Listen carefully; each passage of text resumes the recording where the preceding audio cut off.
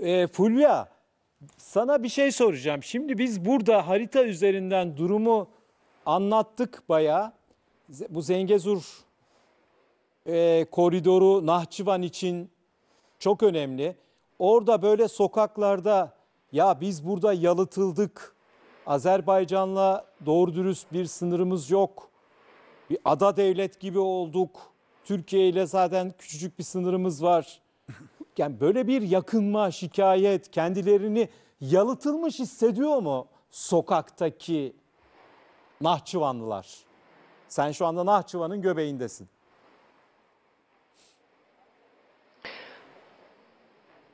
Evet. Valla bugün buradaki herkesin beklediği bir şey vardı. O da Zengezur koridoruna dair verilecek mesajlar. Duymak istedi e, bölgedeki insanlar haliyle. Çünkü e, Nahçıvan'dan Türkiye'ye karayoluyla gidiyorsunuz ama Nahçıvan'dan Azerbaycan'a karayoluyla gidemiyorsunuz. Uçakla gidiyorsunuz. Az önce harita üzerinden Abdullah Arda anlattı İran üzerinden dendi ama orada da o işler hiç kolay olmuyor. 10 saati bulan yolculuklar ve İran'ın engellemeleriyle karşılaşıyorlar. Şimdi dolayısıyla e, o aslında e, kısmı bir kenara koyarsak yok kara bağlantısı zaten. Azerbaycan'la Nahçıvan arasında 45 kilometrelik hat Zengezur koridorunu kapsayan o hat. O hattın açılması burada en büyük temenni. Hem Azerbaycan'da yaşayanlar için hem de Nahçıvan'da yaşayanlar için.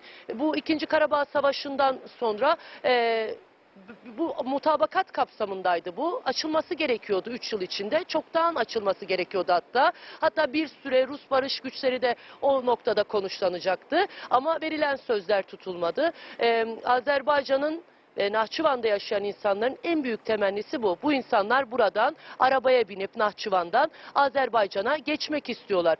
Sadece Azerbaycan Nahçıvan'ı bağlayacak olan bir yol değil tabii ki bu Zengezur koridoru. Türk dünyasını bağlayacak olan bir yol. Yani Ankara'dan siz arabayla Azerbaycan'a gidebileceksiniz. Türk dünyasının kapıları açılacak. Dolayısıyla bugün Zengezur koridoruna dair daha net mesajlar duymak istediklerini biliyorum ama edindiğim bilgiye göre masada bu konu zaten konuşuldu. Ama tabii bir e, e, kameralar karşısında bir şeyler belki söylenmedi ama masada epey bu konu üzerinde konuştu iki lider. Hem Aliyev hem de Cumhurbaşkanı Erdoğan. Ama e, bir farklı bir strateji izleniyor olabilir. Bazı şeyleri kameralar karşısında henüz e, söylemek istenmediği için zamanı belki bekleniyordur. Farklı bir devlet aklı var tabii e, bu tarz şeylerde. E, dolayısıyla ama masada kesin ve net bir şekilde bu konunun konuşulduğunu biliyorum. İsterseniz Nahçıvan'da yaşayanlara konuşalım. Burada bir abimiz var. Kaç yıldır burada yaşıyordunuz siz? Doğulma büyüme Nahçıvanlıyım. 43 yıldır artık Nahçıvan'dayım. 43 yıldır. Aynen. Ee, Zengezur koridoru yəni, desəm sizə. Zəngəzir koridoru tüm Naxçıvanlıların gözlədiyi bir e, açılması gözlənilən bir yoldur. Çünki yəni 1920 illarından bəri bildiyiniz kimi Sovet Rusiyası artıq Zəngəzuru Ermənistana, Ermənistana belə demək ki, bağladı. Yəni güclərin bunu bütün ə, studiyada artıq bu, bu konu konuşuldu. Amma bu gün Türkiyə və Azərbaycan Cümhurbaşqanlarının Naçonda görüşündən sizin də az öncə canlı yayında söylədiyiniz kimi ə, bununla ilgili bir mesaj bəsləniyordu. Hər halda mən düşünüyorum ki, Cümhurbaşqanlarının Naçonda görüşü zaten bu ə, dünya bir mesajdır bu konuda ə, və ə, bütün Naçıvanlılar ən qısa sürədə Zəngəzur koridorunun açılacağını gözləyir. Çünki Çünkü Sayın Cumhurbaşkanı'nın buraya gelmesi de aslında bir mesajdı. Tabii e, Cumhurbaşkanımızın zaten Naxçıvan Özək Cumhuriyyətinə gəlməsi e, həm Naxçıvanlıları sevindirdi, aynı zamanda Azərbaycana və son yaşanan e, Xankəndi olaylarından sonra e, Ermənistana da bir mesajdır ki, artıq bu yol açılması lazımdır. Çünki e, üç- 19 e, 2020 yıl üç, üç taraflı Rusiya, Ermənistan, Azərbaycan e, birlikdə Bir e, yeri yəni bəyanatının 9-cu maddəsində də Zəngəzur koridorunun açılması vardı. Evet. Yəni e, Burada üç- peki üç- siz Sayın Ahmet Hakan şunu sordu. Nahçıvan'da yaşayanlar kendisini böyle nasıl hissediyorlar? Burası Nahçıvan küçük bir yer. Evet Türkiye'ye sınır bir ülke ama ortaya Ermenistan araya Ermenistan giriyor. Sonra Azerbaycan başlıyor. Arada e, bir yol yok, bir karayolu bağlantısı yok. Nahçıvan'da yaşayan 40 yıldır buradasınız siz. Ne hissediyorsunuz siz peki? Tabii bunun zorluklarını hiss edirik. Çünkü bizim e, ana torpaqlarımızla, Azərbaycanla, Bakı ilə bir kara sınırımız yok. Ama bütün mərkəzimiz oradadır. Bütün konular, bütün Nahçıvanla ilgili bütün sorunlarımız orada e, hallolur. Tabii ki Bu e, arada her saat neredeyse e, Bakü'ye uçak var burada Nahçıvan'da. Aynen. aynen. Ee, ve aynı zamanda Türkiye ile sınırda olmamız e, bu zorluklarımızı kısmen kolaylaştırır. Ama bizim e, tabii ki Azerbaycan'a geçeceğimiz çünkü bizim mesela benim oğlum Bakü'de bir e, öğrenci, üniversite öğrencisi. Ben onu görmek için illa da uçakla gidip gelmem lazım değil. Zəngəzur koridorunun açılması lazım ki biz onu gedək gələk. Arabayla Bu- gidersiniz. Aynen, aynen. Akş, e, sabahı e, öğlen oradasın. E, Bir gün kal, yarın dönürsün. Bu arada İşinin o, başına. o Zengezur koridoru açılırsa kaç saat e, mesela Nahçıvan'dan yola çıksanız Bakü'de kaç saat sonra Ya, Hər halda o e, koridorda bir gömrük olmayacaq. 5-6 saat civarında, yəni normal araba kullanırsan 5-6 saat sonra Bakıda olursun. Yəni bu da o deməkdir ki, e, ə, diqqət edin lütfən. E, bu da deməkdir ki, yəni qısa sürə ə, zarfında, yəni Bakıya gedib gələ bilirik. Amma uçaqla getdiyin zaman da o zaman ya zaten gedir e, öncəsindəki bir qayıt işləmləri, uçağın şeyi düşməsi, valiz falan filan. İran o... üzərindəki yol üçün nə söylərsiniz? O İran'dan zaten kimse o yolu kullanmıyor diye biliyorum. Doğru mu? artıq demək olar ki, kullanmır. Çünki e, e, o bir dörd gömrük keçmən lazım. Ne? Dörd gümrük keçməniz lazım. Nahçıvan, İran, İran, Nahçıvan, e, aynı zamanda İran, Azər Bilasu var, Bilasu var. E, Azərbaycan yəni dörd gümrükdən keçməniz lazım. Bunun zorluğu yəni mən o yolu da gedib gəlmiş biri olaraq 12 saata Bakıya ulaşırıq. 12 saat nerəs? 4-5 Ha. saatlə. Nahçıvan'dan İran Nahçıvan'dan, üzerinden yani Bakü'ye Bakü'ye gittiniz. Kaç saat sürdü? 12 saat. 12 yani, saat. Yani hep 12 devamlı saat. 12 saat. Ya En Fulya. çabuk olursa Bir de 10 orada saat. İranlılar sıkıntılar da çıkartıyormuş Ya, galiba. e, Doğru mu? Bazen sıkıntılar olurdu ama yani bu bütün gümrük e, ha- e, gümrüklerde olan bir pro, Fulya, problemdi bu- ama e, Bu bir işkence yani. işin 12 aslı odur ki saatte 12 oradan oraya saatlik veyahut da ki ikinci bir ülkeden keçməklə e, Bakıya gedəcəmsə direkt e, 5-6 saata mən axır Bakıda olurum. Yəni bu bu baxımdan bütün Naxçıvanlıların bəklentisi Zəngəzur koridorunun qısa zamanda açılması və düşünürük ki Aslında Cumhurbaşqanımız 3 yıl önce açılması gerekiyor. Gerekir. Doğru Ya mu? tabii ki e, dediğim kimi üçlü beyanatın 9. maddəsində Zəngəzur koridorunun açılması vardı. Evet. E, yəni 3 yıldır artıq Ermənistan bir ayrı güclərin mi və yaxud da ki bir Fulya beni e, bir duyuyor mu? şəkildə lobinin mi e, təsiri ilə e, bu e, Hatta anlaşma şöyle değil miydi? Azerbaycan kendi bölümündeki yol çalışmasını yapıyor zaten hali Hatta hazırda. Ermənistandakı yol çalışmasında yapacaqdı. Yapacaktı ama Ermenistan e, kabul etmedi. Hayır şöyle dedi Kabul etmedi Azerbaycan dedi ki sen eğer Birilerikten, birilerikten zorluklar çıkartıyor. zorluklar çıkartıyor. Aslında burada Ermenistan sözünde durmuyor. Tabii ki Ermənistan sözündə durmur. Yəni bunun da arkasında da Fulya. dediyim kimi erməni lobisi də var, digər e, yabancı güclər də var ki, bunlar e, Türk dünyasının birləşməsi, aynı zamanda Böyük İpək yolunun e, açılmasına maraqlı olmayan taraflardır. Və yaxud da ki, bunun Türk dünyasına e, bir sağlayacağı bir bütünlüğü, katkı dolayısından zorluk satmaya çalışırlar. Evet. Fulya teşekkürler. Fu- e, ne diyorsun Onur? Pardon. Peki bir, bir Fulya'ya birazdan dönelim. E, şimdi ya şöyle bir durum var. E, bu konularda e, Paşinyan'ın durumu çok enteresan. Şimdi kısmen Hakan Bayrakçı, Abdullah Ağar değindi Paşinyan'a ama e, biz şimdi bu şeyde New York'ta e, Birleşmiş Milletler toplantısı için Erdoğan'ın e, gezisine katıldık ve orada basın toplantısı yaptı Erdoğan. E, bir gazeteci arkadaşımız Paşinyan'ı sordu yani Paşinyan konusunda e, ne düşünüyorsunuz diye. Ben hani şöyle şeyler bekliyordum ya bu Paşinyan sözünde durmadı yani yine num- numara çeviriyor filan gibi Paşinyan'a hani eleştirel bir bakış Evet. Erdoğan'dan bekliyordum. Çok şaşırdım. Ee, Hayır, hiç e, Paşinyan'a yönelik eleştirel bir tutum almadı. Tam tersi e, şu bir haritayı görebilir miyiz bir daha? Dedi ki orada bir çapulcular var dedi. Ha. Nereyi söylüyor o çapulcular nerede Bu Abdullah Bey? Karabağ klanı diye ifade edilen Neresi zam- orası? şu, şu bölgede e, üç tane klan var, güçlü aile var.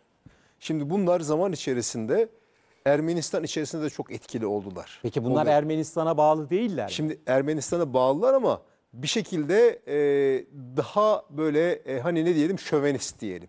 Daha Ermeni Peki, kavmiyetçisidir. Klan deyince böyle bir aşiretimsi bir şey A- mi? yani büyük büyük aileler hepsi birbirine Neresi? bağlantılı. Ne nerede mesela? Şimdi bu, bunlar bu yani bura kökenli ama Ermenistan'da da çok etkililer. Diasporada da çok etkililer. Ya bunlar Ermenistan Paşin hani Paşinyan'a rağmen mi burada Azerbaycan'a bir takım saldırılar falan yapıyorlar? Şimdi bunu denediler zaten. Ama şimdi şöyle söyleyeyim izin verirseniz.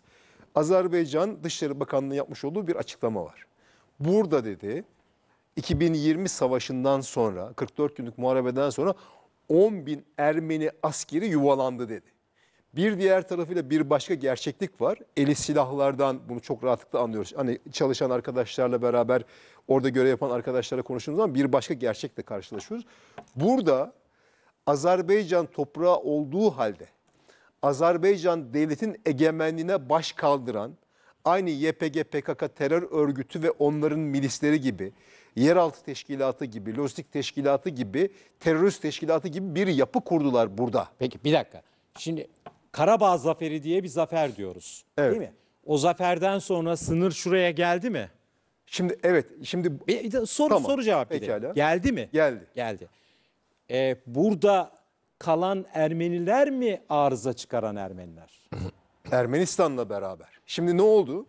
Şimdi burası 11.900 kilometre karelik bir alan. A- Şu anda Azerbaycan'ın burası. Şimdi bugüne kadar yani 19 Eylül'de yapılan harekata kadar bunun 2818 kilometre karesi Rus'un arkasında kalan ve Ermenilerin burada sözde devleti devam ettirmeye çalıştıkları alan. Harekat bu alanda yapıldı. Şimdi birinci savaş Bir dakika.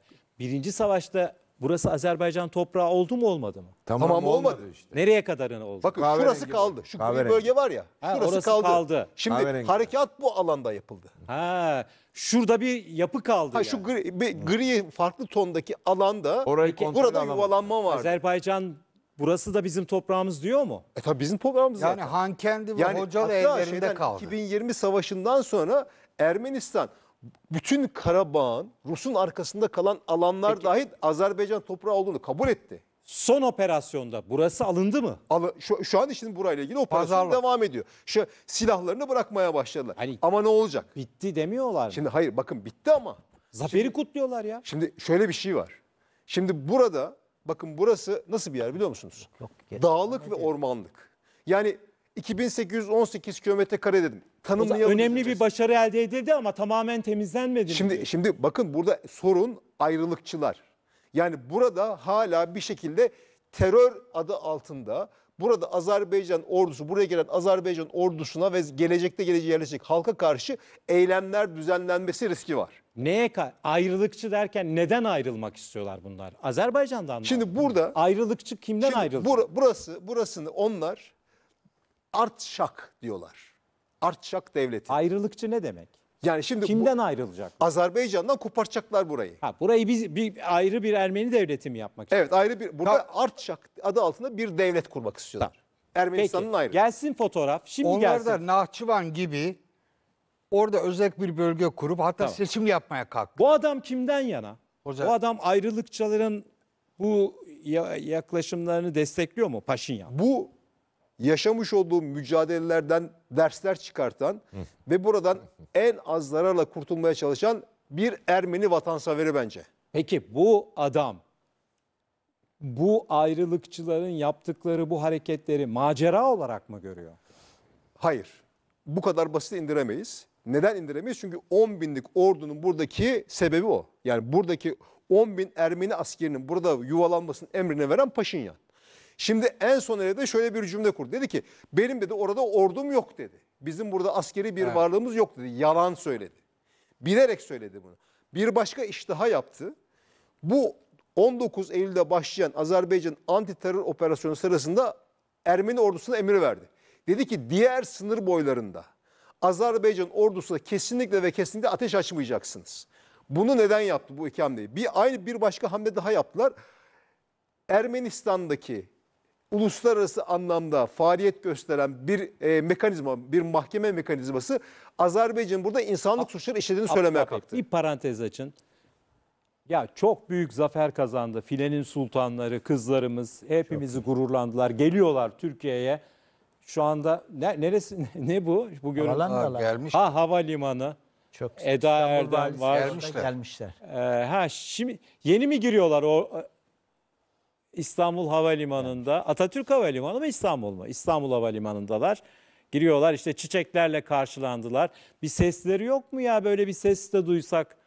Ee, herhalde Voleybol Federasyonu Başkanı e, Kaptan Eda'yı görüyoruz. İyi görüyoruz evet. Çiçeklerle İtalyan hoca. karşılaşıyorlar. Bizim Damla da mı orada? Dam, Damla duyuyorsa beni anlatsın. Ne oluyor Damla orada?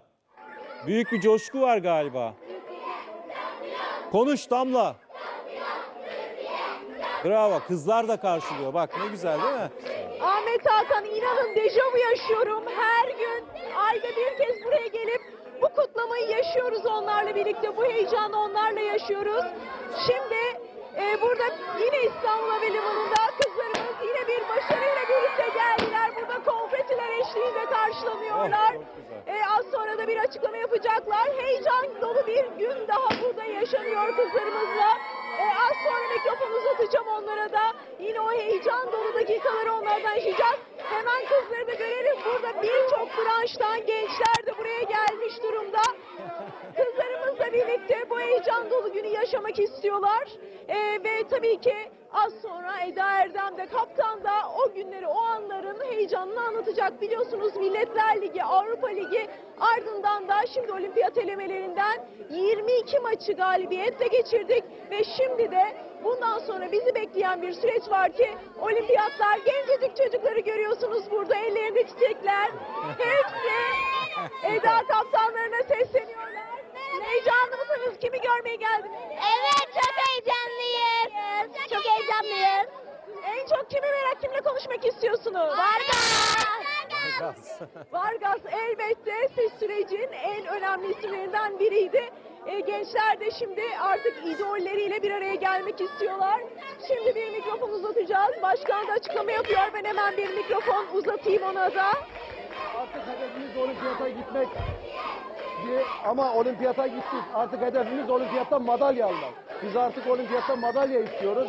Bu da Türk spor tarihinde bir ilk olacak inşallah. Bunu da başaracak isteyiz. Ben isterseniz İstanbul Valisi çok fazla uzatmayayım. Davutköy. Başta Sayın Valime çok teşekkür ediyorum. Güzel bir ev sahipliği yaptı bizim sultanlarımızı bizleri karşıladı. Voleybol Federasyonu Başkanı açıklamalar yapıyor şu anda. E, Eda Erdem'e daha sonra mikrofonu uzatacağız. Kaptan da bize takımın heyecanını aktaracak. Şu anda arkada da kızlarımızı görüyorum. Onlara da birer mikrofon uzatacağız. Hemen şimdi koça uzatalım. Tabii ki bu sürecin mimarları. We arrive where we wanted to arrive. We catch a great uh, Olympic qualification. We wanted a perfect summer. Başarılı. And I'm Çok so, başarılı bir like I antrenör. told you so many times, proud of this team, proud O da erik girl. dalı. Çok We güzel erik dalı oynuyor. Öğrenmiş Evet. acayip. Now we have Vargas da great çok güzel oynuyor. but we are really really happy. Bu güzel yaz için gerçekten çok mutluyum. Ee, olimpiyat elemelerinde geçtikten sonra hedefimize ulaştık. Gerçekten harika bir yaz oluyor bizim için. Hep söylüyorum, bir daha söylemek istiyorum. Bu takımla, bu oyuncularla, bu ekiple gurur duyuyorum. küçük kızların Ee, bağırışı Ama çok güzel, gerçekten değil mi? çok yorgunluk, çok az bir Harika. dinlenme süremiz var ama gerçekten söyleyebileceğim tek şey çok mutluyum. En anlamlı karşılama. Ablalarını küçük kızlar karşılıyor. Bravo. Ama hakikaten Türkiye Hadi Eda takım kaptanı. olimpiyat şampiyonu olacak. Bakalım. Üçüncü ve en iyi bir, arada, bir aradayız. Ee, hedeflerimize ulaşmış durumdayız. Çok mutlu ve huzurluyuz. Aslında takım olarak değil de ülke, ülke olarak hepimizin onur duyduğu e, başarılar oldu.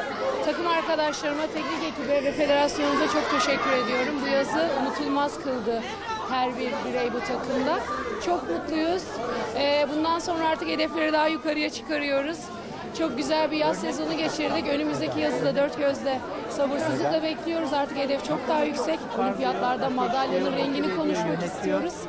Ee, son sözü de takım arkadaşlarıma vermek istiyorum. Bu yaz gerçekten inanılmaz bir mücadele gösterdik. Aslında bu takımın başarısı beraber sahada e, sıkı çalışmanın, azmi ve disiplinin sonucuyla ortaya çıktı. E, hepsine çok teşekkür ediyorum. Bu unutulmaz anılarla e, çalışırken inanılmaz keyif aldım.